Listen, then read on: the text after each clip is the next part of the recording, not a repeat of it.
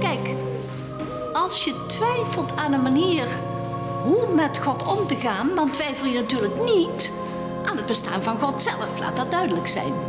Maar wij vroegen ons inderdaad af hoe wij van ons lieve gedaan konden krijgen dat hij voor elkaar zou boksen, daadwerkelijk wat wij hem vroegen. Dus op een gegeven moment zijn wij bij onszelf te raad gegaan. Zijn wij als zusters Augustinessen wel goed bezig? Hier waren er genoeg van.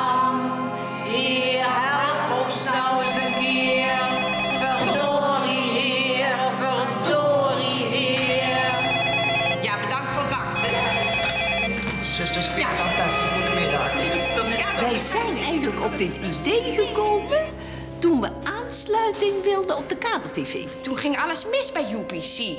En wij hebben toen geprobeerd om dat beleefd op te lossen. Te geloven in hun goedheid. Te denken dat ze zouden doen wat ze beloofd hadden te doen. Maar dat werkte niet. Dus na een tijdje, ja, we werden er tureluurs en knettergek van, hè? We hadden er schoon genoeg van. Dus toen hebben we besloten om het roer maar eens radicaal om te gooien. Nou, we hadden een heel schema gemaakt met alle zusters... dat we dus eh, om de beurt een uur lang eh, UPC zouden bellen... om te vragen waar onze aansluiting bleef. Ja, toen legden wij met ons gebeld de hele helpdesk plat, ja. Binnen twee dagen stond er een mannetje op de stoep en was alles zo geregeld. En zo zijn wij eigenlijk op het idee gekomen. hè. Je moet klagen, veel klagen, niet netjes vragen, blijven klagen. en klagen. Je moet zingen naar de Heer. Heer, ik heb de hele dag nog niks gegeten. Heer, doe er wat aan. Heer, ik heb de hele dag nog niks gegeten. Heer, doe er wat aan.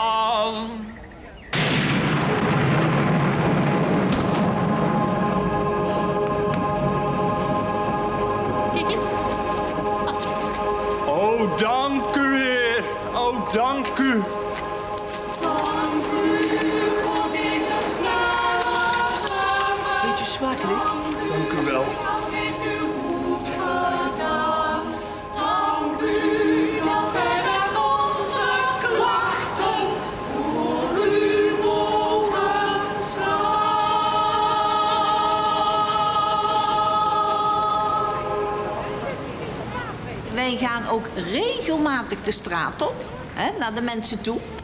En dan brengen wij onze boodschap.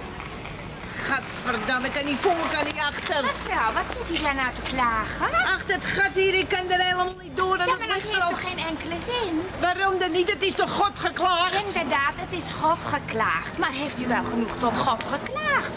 U moet uw klacht tot God richten en u zal verhoord worden. Ja, je lult lekker, maar hoe moet ik dat dan doen? U kijkt naar boven, naar hem en probeert zo mooi mogelijk uw klacht te zingen. Heer, er zit hier een gat in de weg. Ik heb er al vijf keer iets over gezegd.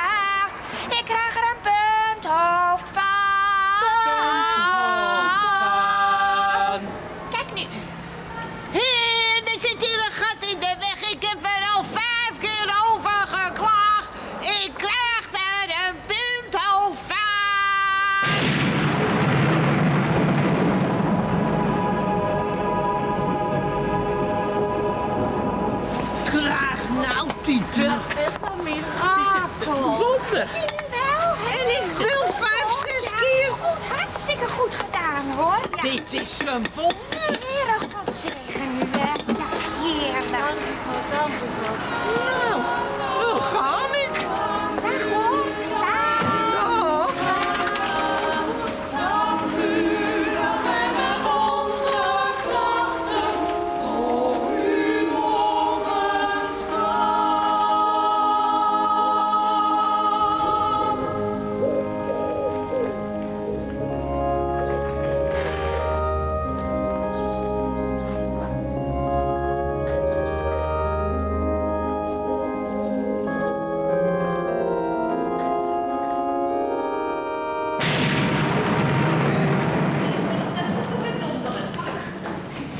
Mensen kunnen ook naar ons bellen, hè? En de klachten die wij dan horen, die kunnen we rechtstreeks naar God zingen. Heer, Heer, waarom van de Berg maar steeds niet zwanger. Heer, de fiets van Frits van Engen is al voor de zesde keer gestolen. Ja, waarom krijgen er zoveel mensen kaart? Je kunt het vergelijken met ook dat nog, hè? Of, of, of, of Peter, eh, Pieter Storms. Ja, we zijn in feite eh, de breekijzer van het geloof. Potverdorie, u zijt toch de glorie. Ja, bedankt voor het wachten. We haalden fantastische resultaten. Dus toen hebben wij onszelf omgedoopt van Augustinesse naar de Orde der Kwerenlandhessen. De zijn woning zijn wagen nooit kwijt. Heer, doe er nou eens wat aan.